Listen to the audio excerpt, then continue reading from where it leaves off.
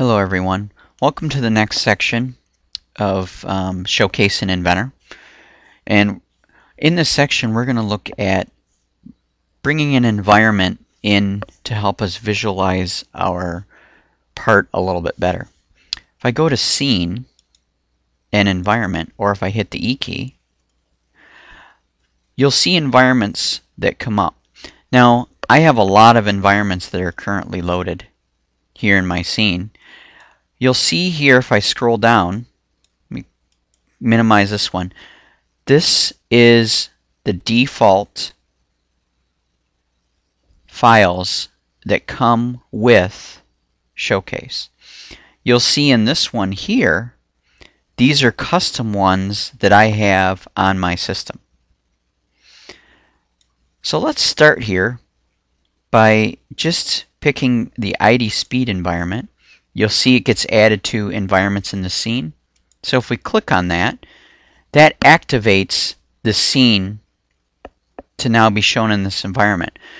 Now, if I save this right now, what's going to happen is when Showcase comes back up,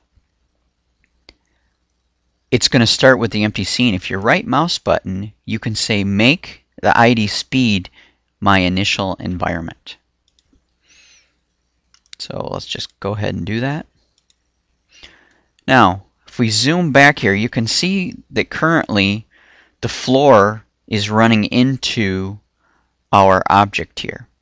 So how do we fix that? So under Scene, you can go to Set Floor Position.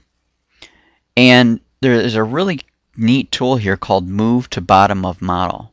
If I hit that, what it's going to do is it's going to move the floor to the bottom of our model.